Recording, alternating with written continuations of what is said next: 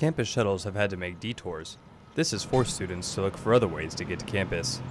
Yeah, usually I try to go to the parking lot first, and uh, lately that has not been working out. So I need to drive around to find a spot.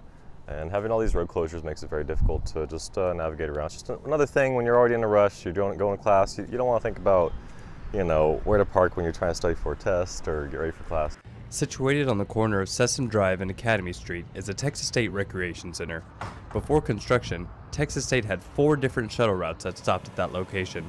Now, students find it more difficult to get there.